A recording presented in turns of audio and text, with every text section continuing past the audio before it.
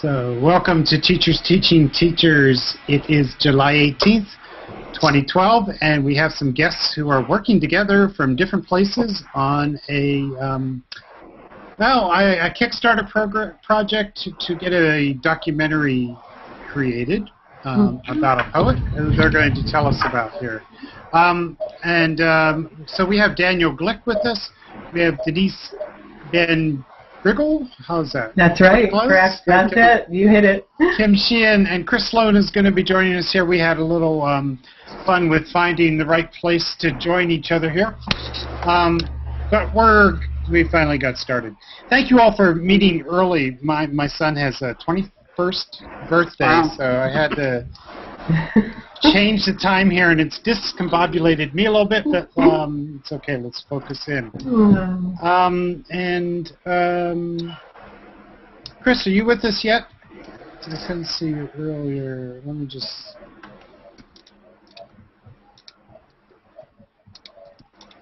All right, sorry. Okay, so um, Denise, why don't Yeah. you introduce yourself and introduce your colleagues here? Let's Okay. start it that way. I'd be happy to. My name is Denise Van Briggle, as Paul said, and with that terrific pronunciation, appreciate that. It's a name that gets slaughtered pretty often. So, um, but uh, I was director of the Capital Area Writing Project for about seven years, and That's the was capital of Capital, yes, Capital Okay. Area Writing Project in Pennsylvania. There is another COP in a, uh, another state, but um, I was involved there for seven years. Been involved with the writing project since 1988, and was an English teacher for many, many years. Recently retired. Um, I also did literacy coaching and was coordinator of secondary literacy for a large urban school district here in Pennsylvania. Um, my colleagues who are with me today, Daniel Glick is the filmmaker, and uh, we I met Daniel through Jimmy Santiago Baca, the poet and writer, uh, for whom this uh, show really is, um, is is all about, or about whom this show is um, focusing on tonight. And um, Kim Sheehan is um, Hi there. Is actually the person that Jimmy connected me to in order to work on the companion book that will accompany uh, the film. So Kim's from Florida. She's also a writing project person, and I'm going to let Daniel and Kim talk a little bit more about their own backgrounds and what they're bringing uh, to the program today. Go ahead, Daniel. Okay. Well, I I am not a teacher. I'm the I'm a filmmaker, and I've been working on this film about Jimmy's life, Jimmy Santiago Baca's life, since last January, January of 2011. Uh, I've been working on it with Gabriel Baca, who is one of Jimmy's sons, and at the beginning it was us two, and as time rolled on, people appeared and joined the team like Denise and uh, Kim and Rex uh, and so many others. There are maybe 20, 30, 40 people involved at different at different levels of engagement at this point. And uh, I first found out about the story about three years ago when I read Jimmy's book. It was recommended to me by a, an inmate in New York State Prison, and he said, if you want to understand prison more, you should read A Place to Stand. So I did, and it, you know, it knocked me over, floored me. So I looked Jimmy up on the web and sent him an email, and that's how it all started. That's a good start. Um, I'm Kim Sheehan, and I am from Port Charlotte, Florida. And I've been teaching for about 17 years. Um, currently, I'm working as the curriculum specialist for secondary literacy. And so I get to see the gamut of things. And I actually met Jimmy at a conference. He was presenting with someone uh, who I knew through another professional organization. And I was just enthralled with his speaking and what he had to say and his message. And during that time, he said he was looking for someone to do an action research with. And so I immediately just ran up to him after the presentation and said, pick me, you have to. And so we worked together on an action research with 10th, uh, 9th, 10th, and 11th grade writing uh, that spanned a year and a little bit more. And uh, that's how we got to know each other. And I just love his poetry and his writing and I just said I want to do something with you, and then this project came along, and here we are. So. Oh, Kim, it's so funny to hear Daniel speak and to hear you speak. And my story is so very similar. He spoke at the National Council of Teachers of English Secondary Luncheon in 2008. I had read the um, memoir in 2005. A colleague of mine highly recommended it. I read it. It, um, for me, it was the most moving memoir Mhm. I had read uh, and still holds that you know Yes. distinction. It really does. Um, on so many levels, it, it spoke to me, and s- and it actually changed me to a to a degree, much the same as everybody always talks about the writing project changing Right. them in a fundamental way. Jimmy's book did that for me. So I said to myself when I read it, I, one day I would meet this man. You know how you plant Absolutely. something in your brain and, and it becomes a reality. So several years later, I would happen to be on the, um, I had a workshop at NCTE and I went to the secondary luncheon and literally got there. I think I was, I felt like a groupie. I was like the first person there. I made, you know, I felt like prime, too, ta- yeah. prime table, you know, whatever. As soon as it was over, I literally just hightailed it. I remember cutting across the ballroom floor and and there were like 2,000 people there. I grabbed, you know, kind of all but grabbed him and and walked with him and said, "I want you to come to my district." So I had That's the, exactly what I did. Yes, I had the pleasure of having him uh, at the Harrisburg School District twice. Uh, he was he visited with us in 2009 and again in 2010, and I've seen him uh, work with middle school students, high school students, Mhm. groups of teachers and administrators, um, college faculty and students, and inmates. I'm a prison volunteer, and so I've seen him in front of groups of um, male inmates, and it's incredible the way he um, can command an audience. It's just- Absolutely. uh, and especially all those different groups. So I thought, you know, this Mhm. guy's got something really special. I want to be uh, involved in some way. So he connected me to Daniel to help with fundraising, and then connected me to Kim to work on the book. And I think he has this uncanny ability to bring people Put together and sort of mesh and blend. So that's um, yeah, really kind of nice. Now everybody will be tackling him, trying to try as long as they get him to come to their districts. I guess that's a good thing. Cool. So uh, your enthusiasm is uh, infectious, I gotta say. Um, but in some of the writing you've done about this, you said it's a service project, Mhm. specifically the Kickstarter project that you're Mhm. doing. And just in case somebody only listens to the first five minutes of uh, this this Mhm. wonderful broadcast, um, uh, let's make sure we get that right at the top, and then we'll Sure. get Mhm. we'll, we'll mention at the end.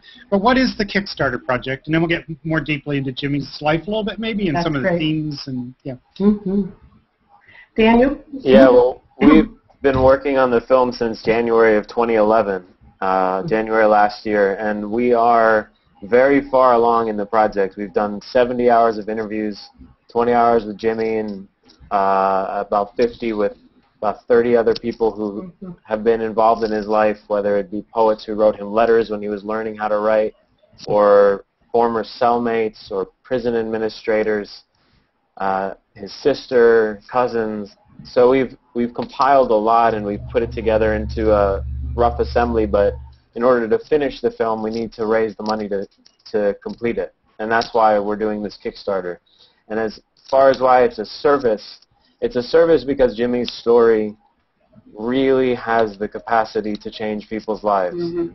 unquestionably. In and his memoir and his poetry and his workshops are proof of that. There, when I was with him, I, uh, you know, last year working on the project, I would see, I would, I would occasionally see these letters that would come to him. I remember one really vividly that a man who's still in prison wrote Jimmy saying, "Because I read your book, A Place to Stand, I left the Aryan Brotherhood." And Wow. doing that in prison is almost a death sentence.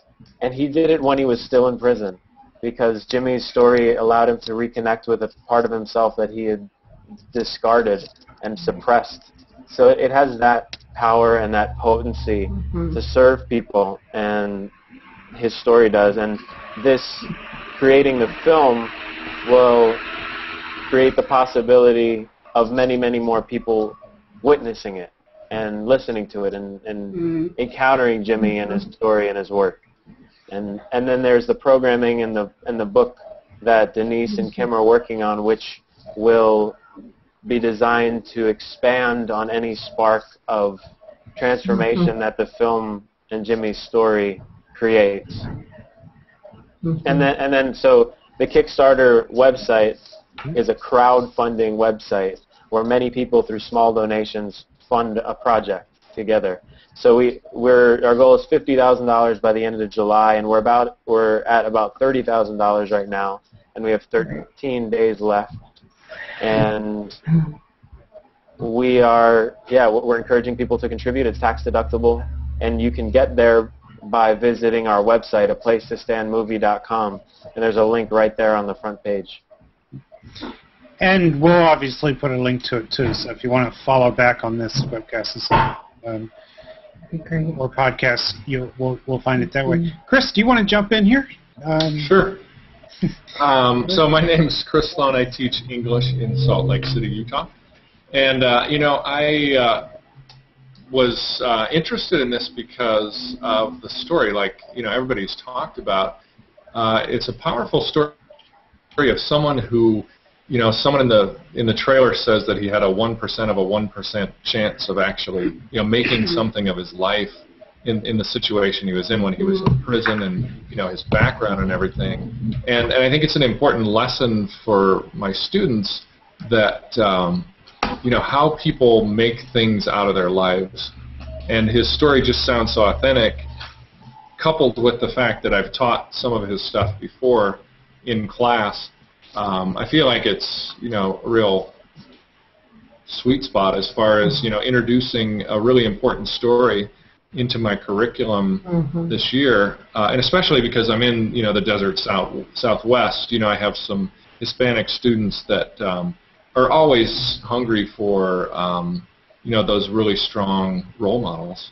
Mhm. And would it be worthwhile to give a quick rundown of what Jimmy's story is for the people Yes. who aren't familiar? Uh, I can do that.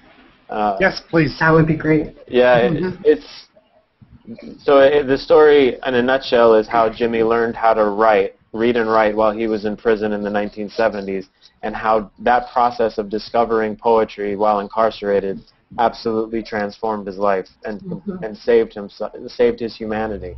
And the the that's the general arc of the story. It, it follows his childhood, which was extremely traumatic abandoned when he was three years old and homeless and in and out of orphanages and foster homes and homeless and eventually dealing drugs in Arizona, sentenced to five years in Arizona State Prison in the 1970s, which was one of the most violent prisons in the country at that time. Can I interrupt one second? Yeah, yeah. You skipped over schooling there. Mhm. That's I think you true. Well, well, yeah, because he didn't have any. Mhm. Yeah. Not, barely. Wow. He, he he went to he, he there were classes in the orphanage that he went to, basic ABCs, but and he went to middle school for maybe a semester, but he was not engaged at all. He he could barely read and write, Mhm. and the teachers shamed him because he didn't know how to participate fully. He and he was a minority in a in a white in a predominantly white school, so it was uh, so it, he was never drawn to education when he was a kid, and he, so he Mhm. basically had none when he went into prison, and he was a, he was functionally illiterate when he entered prison. So I wonder what it's like for him to go back into schools now. Yeah. Mhm. It's amazing to watch. I can tell you that. Um, we spent we went to three different high schools and spent time with kids across all different age groups. And he mesmerized them from the moment he opened his mouth to speak with them, had them all writing within a 20 minute span.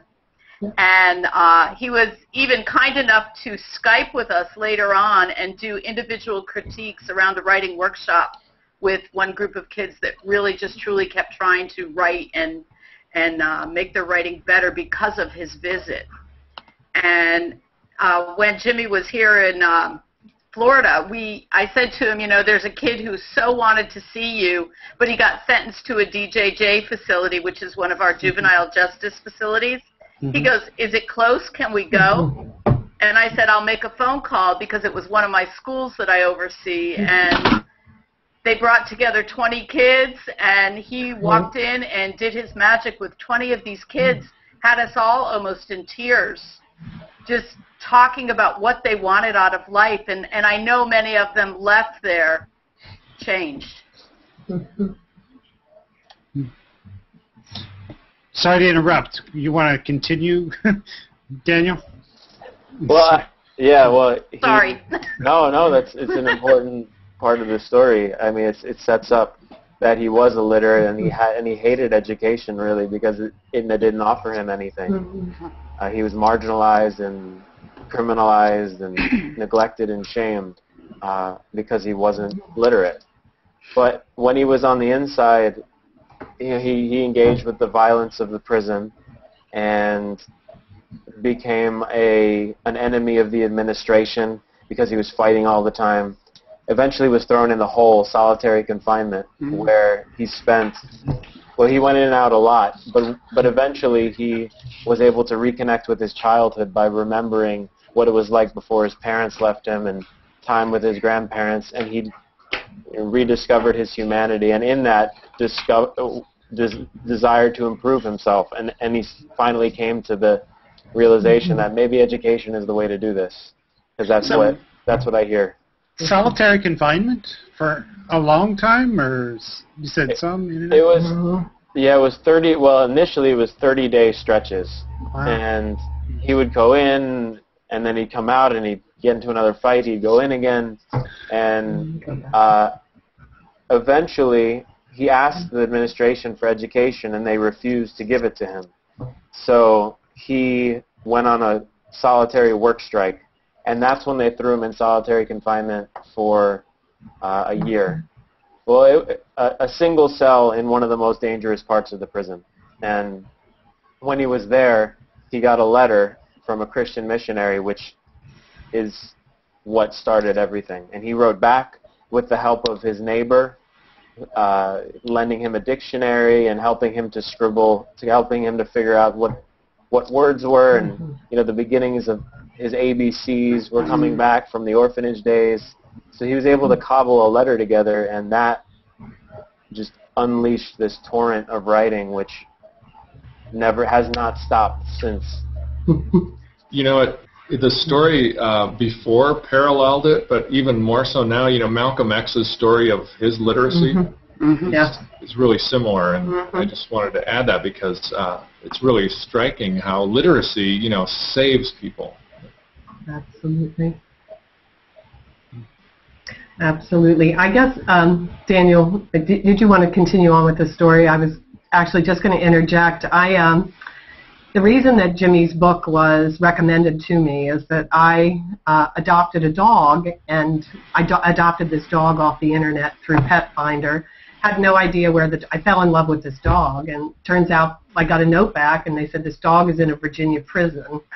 Uh, so it was a cell dog. I had no clue, and my husband and I went to Virginia, picked up the dog, met the inmate, who Wow. talk about uncanny coincidences, is from he's in Virginia, but is from this area where I, I he grew up in Philly and actually lived in the town where I taught for many many years. Um, so we had this immediate connection over place, and we started to correspond back and forth. And this would have been in 2000, I don't know, five when I 2004 when I adopted the dog. 2005 when this college professor uh, friend recommended his his work. But at any rate, one of the reasons she recommended the book is she said maybe your friend that you've been corresponding to who trained your dog would get something out of this book. And he read the book and he goes back and reads it and rereads it. And every time he rereads it, he tells me, you know, he sees something new. Every time I read the book, I see something new, or I'm, uh, as Daniel and I talk about being cracked open in, in a new and different way. So he sees, um, and I, I won't use the inmate's name, but he sees this hope for his future uh, because he's read this book and has dipped back into it again and again. And so I think if someone like uh, my friend can see that sense of hope that young people that are in high school maybe headed down the wrong path, or even individuals that read the book for pleasure can find a new path that's more positive and um, will lead them to a better future. And so, sort of this um, piece of me wants to contribute to that. So that's why I personally am so invested in the in his book, in Daniel telling this story in a cinematic way. I really believe it has the potential to It is change the hearts and minds of lots of people um, in this world, um, in, in in a very broad sense. Yeah, unquestionably. I mean, it's the the story from the point he learns how to read and write. I mean, it's it's remarkable how consumed he becomes with literacy and writing and reading, and that's all he wants to do. And the, he's tested by the prisons. There are inmates who are challenging him about, you know, we don't want you to read and write in here. You know, get out of my get out of this cell. And he is able to commit. He was able to commit to his self-improvement, commit mm-hmm. to his transformation, and to re- and his humanity. And he saw that writing was a way to do that, to guarantee his survival, and to evolve, and mm-hmm. to heal past wounds. So the that's that, and the story, as the story goes, he used that momentum and wrote for four years and eventually was corresponding with all these poets on the outside and having his book having his poems published in Mother How did- Jones magazine. How did that happen? Uh, how did he connect with those poets?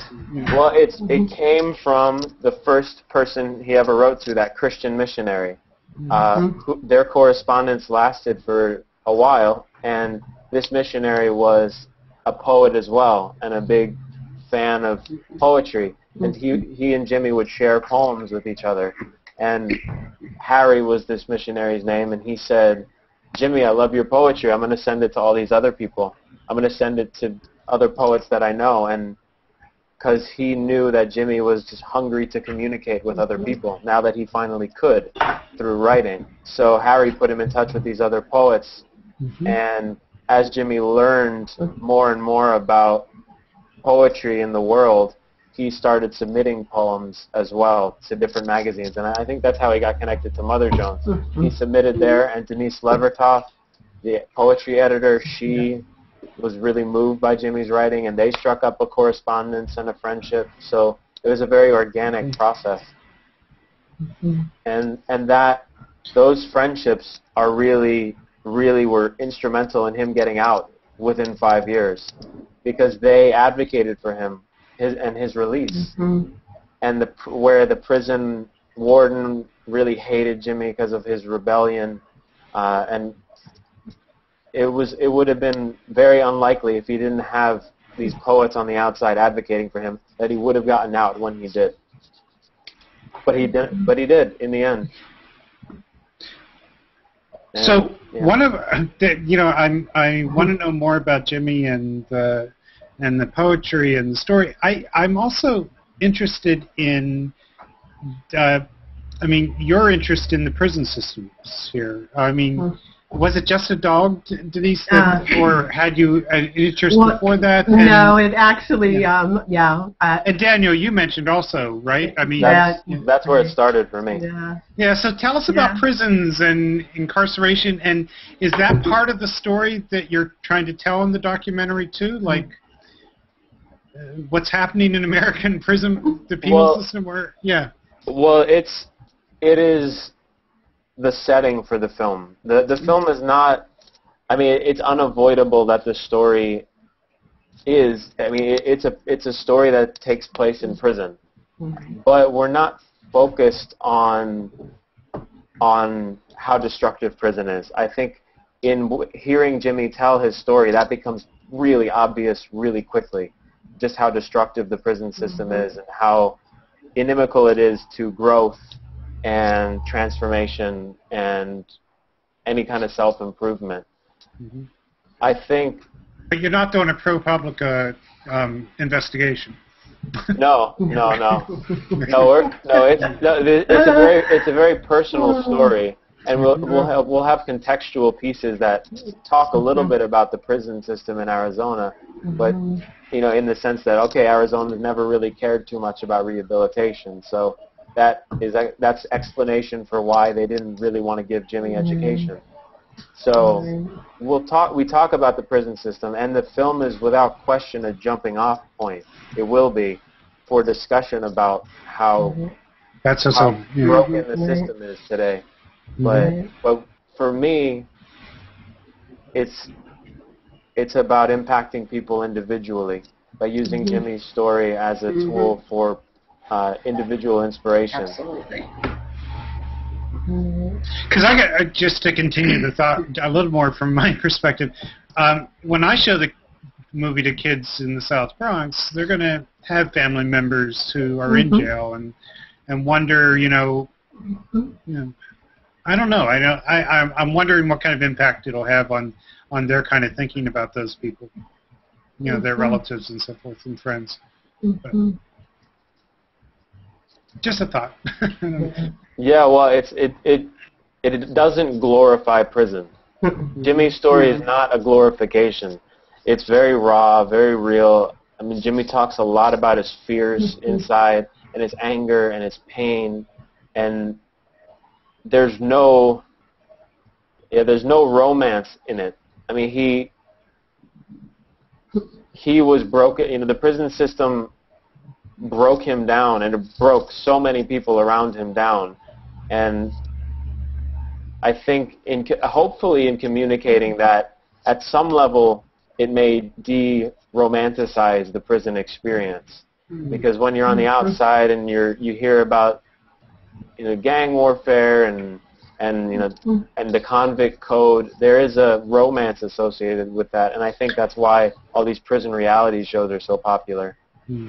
But there's very there are very few stories that I've seen that humanize prisoners in a very real, authentic way, and I think that's the value in this story is that we see we see Jimmy as a person. He's not a he's not a criminal. He's not a convict. He's a person, and all the other people who are with him in prison are people, and and they're not there. And, and it's not a it's not a something to aspire to. Right.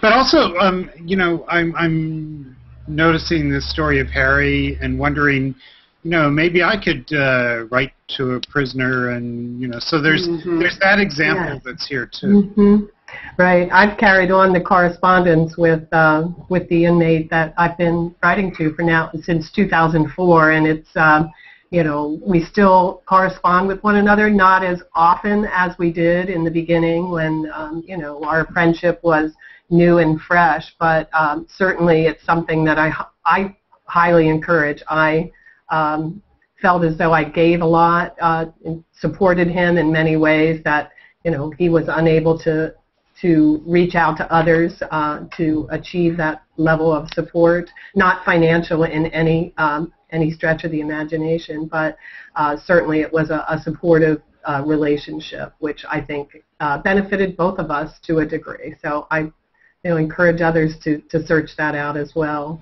And in terms of my own prison involvement, I, in addition to the writing, I then became, you know, Jimmy's story, knowing Jimmy, um, seeing his humanity and what a what an amazing person he is, just underscored for me that people that are in prison, um, regardless of all the things that they may have done, some you know tremendously despicable all of that, um, at the core level, they are still human beings. And that spoke to me and reignited sort of this social justice fire that had been burning in me or smoldering, I would say, from high school.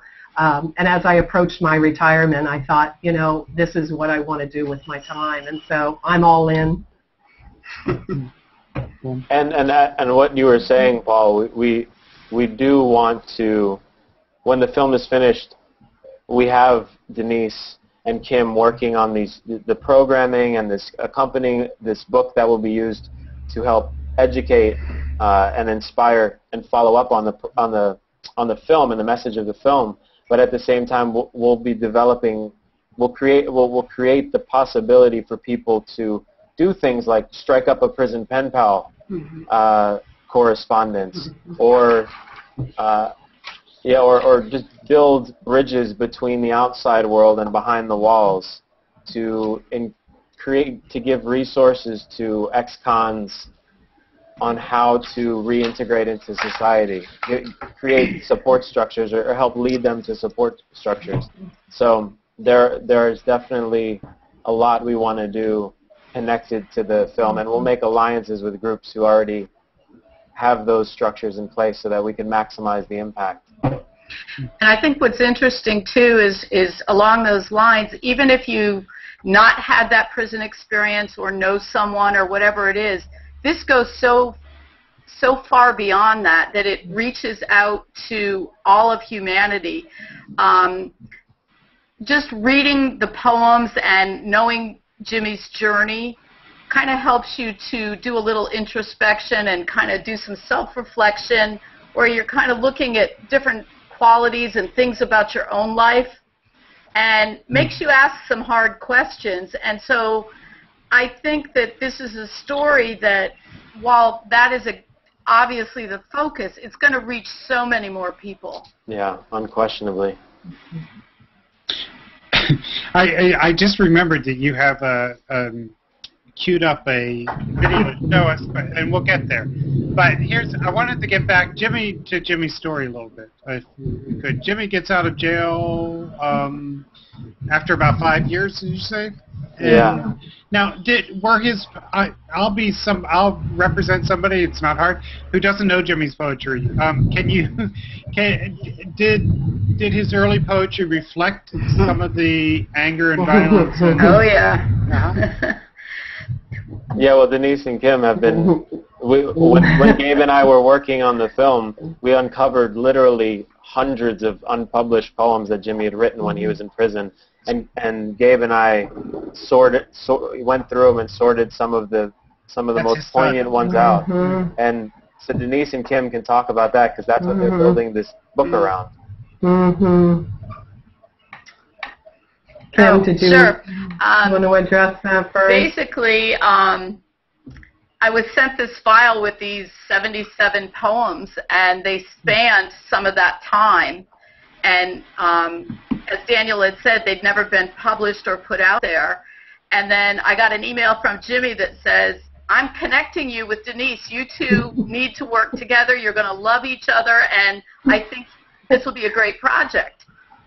And we connected um, via email and through Jimmy and on Skype, and then we started looking at these poems and um, just really immersed ourselves in this poetry and found that it really does have, um, it does tell a story in those. And so we began to order them. You want to talk about that, Denise? Well, I, I just think it's, uh, again, another uncanny process. And as writers, I assume many of the people that are listening are, uh, in fact, writers. But Kim and I approached this as uh, we, we just kind of dug in and said, okay, let's just immerse ourselves into these poems and let's try to order them in a way that we think makes sense to independently. She ordered them and I ordered them. And it was unbelievable how many similarities we had when we compared our lists. And there were some um, some quotes from uh, some folks that he had written uh, to in prison, and we were sort of pairing independently again, pairing these uh, quotes with poems that we thought you know might match it. And again, we had these perfect matches when we were particularly the beginning and the end. So we thought, Uh-huh. okay, we really have something here. We have these, you know, these, the bookends, and so uh, we've worked, I think, um, really well together using Yeah. technology. I mean, we had never met, and I went to a vacation, and she drove down, and we spent an entire day writing in coffee shops and restaurants until they kicked us out. But um, so the process of writing has been, uh, you know, really really, I think, very, very nice for both of us. And we're both writing project uh, folks, and we did not even realize that, I don't think, until Jimmy Until we were halfway through. Yeah. Yeah, that's, that's cool. Um, and some of the themes of those poems? Mm. Well, we, we've kind of uh, we've assigned some divisions to the poetry. Um, excuse me. As we talked about it, we be, we started and we saw that there was this group of very dark, angry, just poetry, and um, we've divided it into four uh, different sections. And the first one was about the dehumanizing process that was imposed upon Jimmy and how he dealt with it. And he just recorded it with such intensity that you could feel it. Um, mm-hmm. Then we, we went to a second section that was uh, really journeying inward, kind of hitting that darkest moment when the decisions you make are going to choose the rest of your life.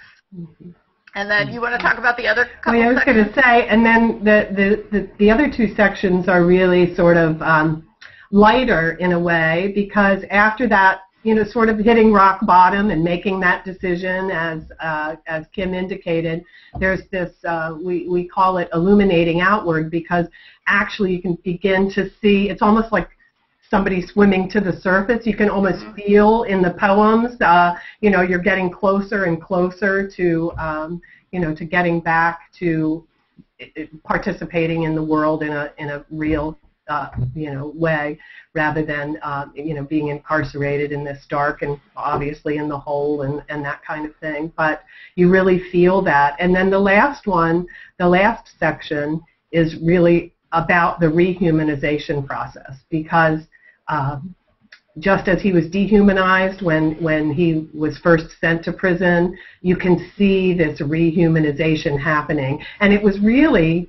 his doing, uh, which I think is re- is very very important in the in the poetry. That it's not you know somebody came in and and and said you're going to you know rehumanize. It was a process that he went through, and I think what we have put together really does reflect the journey that uh, yes. he had uh, while he was there. To from our perspective, obviously we were not um, we were not part of that. Yeah. And the power of the literacy was just it it just comes through every piece that you read.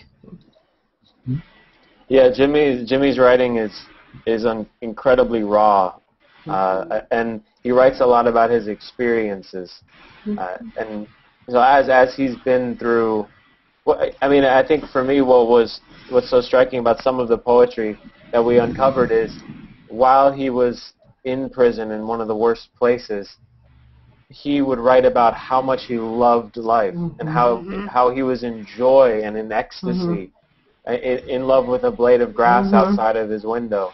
I think mm-hmm. that he has those poems, then he has the absolute anger of being treated like less than a human being, of of seeing unspeakable violence being committed by other prisoners, uh, by guards, and so there's there's a whole range. It's the full human spectrum of emotions Absolutely. that flow through his poetry, and I think that's why they're so captivating. That's why they're so powerful. Mm-hmm. How, how many books has he published at this point? Um, no, it's, it's, over 20. I was going to say in the 20s. I've read them all. Um, I've read I've, everything that's currently, you know, still available. I've I've read, and you know, it, it's definitely in the 20s for sure.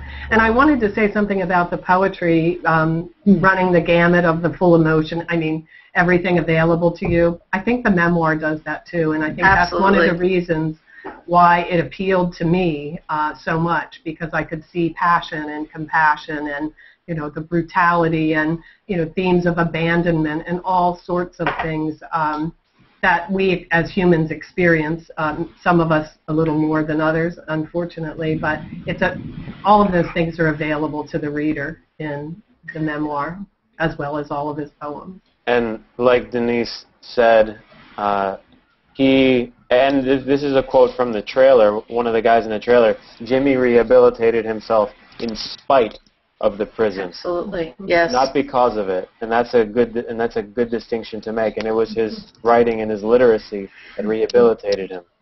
Uh, and and who, but or or more specifically, the writing and the literacy was a tool and a mm-hmm. vehicle. Mm-hmm. Like that, it it was him.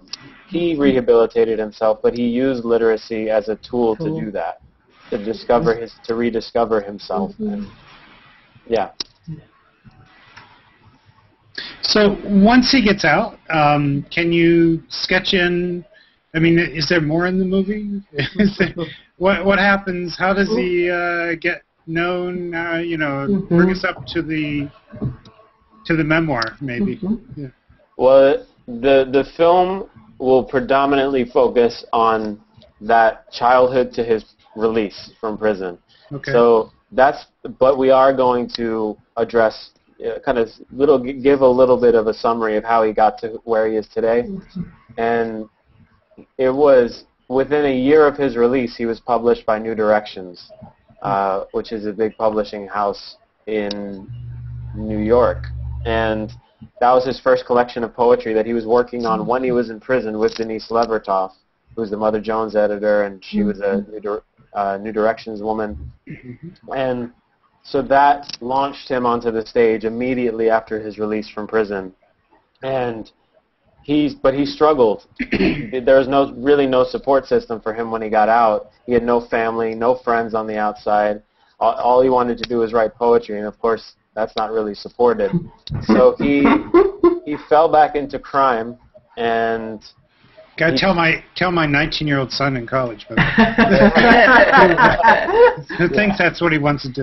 Oh, But sure. go- well, it, it, well, it took Jimmy. Jimmy has been able to support himself through poetry, eh, but it took him 35 years, you know, to do it. And it was for him, it was a process of sticking with his passion of poetry, and then when he when he had a family, when he had his first two sons and got married, I think those those two pieces, family and poetry, are what grounded him and allowed him to uh, and, and gave him the courage and the conviction to leave crime for good.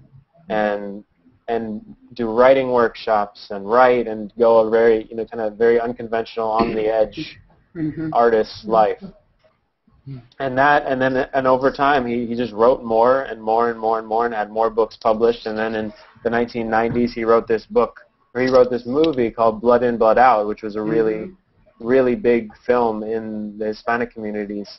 And that launched him to another level. Hmm. And then 10 years after that he wrote A Place to Stand which again was was another level. So it's been a, a long it's been a, it's been a long process of evolution since his release 35 years ago. And now he's living in a cabin in northern New Mexico and writing deep in the woods. Good for him. um, I- do you want to try to show the um, uh, movie clip that you have? What mm-hmm. is it a promo? Whatever you'd want to call it. Right. Would you, Let's Daniel? do it. Do you want to do that, or would you like me to? oh you can go ahead do that? Okay. All right. Well, I did. I did a little practicing. You know, I'm Type A. Let's see here. Let me see if I can. Oh, and what we mm-hmm. all need to do to watch the video Mhm. is press the YouTube button at the top. Mm-hmm. oh okay great Which, but don't do anything there, because I hope Denise is. Okay, I'm still works, right? looking. Let's see. Okay. Uh, I want the extended trailer. It's not popping up, Daniel, and I know you. Um, well, there's the teaser trailer, but I can't find the extended. I know you opened it up the other day for me. oh It should all right. be. let me let me be here. use my Does it have a different title? Perhaps? No, I think that's it. I'd like you to see the extended trailer. We could pause it and uh, wherever you would like, Paul. But No, this one I I, think don't we know. could probably just play, but let's see if we can find it. We can wait. I mean, nah. Chris, do you have any questions or thoughts or? Um, I had, uh, while we're doing this, um, a question about you know involvement in the Kickstarter thing. And so let's say somebody's listening and they're thinking, uh, yeah, you know, I'd like to get that video or I'd like to somehow participate. Uh, can you talk just quickly about the different levels? Like you, you know, you take donations of. you guys have a lot of amount levels. Yeah. Oh yeah. Mhm. yeah well that, that's how that's how That's how they Kickstarter instruct you to do. it. Oh, okay. Yeah, I mean, you you create, it, you make a donation, and for each, there are many many different levels of donation that one can make.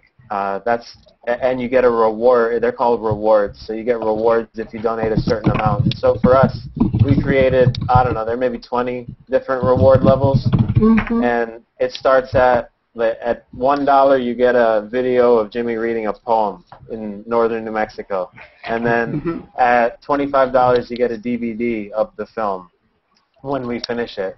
Fifty dollars you get a copy of Blood In Blood Out, uh, signed by Jimmy, and then seventy-five is a uh, is a prison is a poem that he writ, wrote in prison, reproduced, signed by him. So we ha and it goes all the way up to ten thousand dollars. So you what do you get go- for ten thousand? Come on. Ten thousand is you get a ton. You get All of the above. uh, all of the above. You I know, ev- it's all every other every other reward. You get a a producer credit in the film. You could basically have all access to everything involved in the film. So you have about thirty thousand dollars so far, and you're looking for twenty thousand more, More. by the end Mhm. of this month. By the end of is that right? Yes. That's right. July. Yeah. And um, you must know, or do you know, like your contributions? Have they been on the twenty-five dollar range, or did you get some big ones in there? Or just curious how it works. Yeah, well, it, it's it. Most of them have been smaller contributions. They're, most of the contributions I think have been around between 25 to 50 bucks. Uh, but but we've had bigger ones. We've had a number of bigger Mhm. contributions to push us forward. So a couple $2,500 contributions, several thousand dollar contributions, nice. and yeah, Right. and th- so those those have been yeah, within Right. within two hours of launching the thing, we got a, our first donation was a twenty five hundred dollar donation. That's so that encouraging. Was, yeah, so I was I was all panicked when we started, and then that was that that came in to Right. reassure me Mhm. that there was support cool. for the project. Have And that- any, have any of you done a Kickstarter before? Mhm. Yeah. Oh, you have. Oh, okay. yeah, well, we, we did one for a place to stand last year, Oh, okay. and that is Mhm. what allowed us to get to complete all of our, all the interviews of the film. Right. So we traveled around the country for uh, for two Right. months, get doing Mhm. research and collecting interviews, and we, we were able to raise seventy five hundred last year. Mhm. So we Cool. we are our goal is ten times that this time. Uh, Are you getting there? That's Yeah. great. We we also just added, uh, which I'm excited about, and um, I hope it, it happens. We added a 1500